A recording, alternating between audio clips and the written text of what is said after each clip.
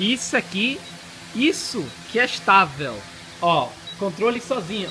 Ó o helicóptero ali, ó, ó, ó. Tá descendo um pouquinho, mas ó. Aqui. Virou, parou. Bum.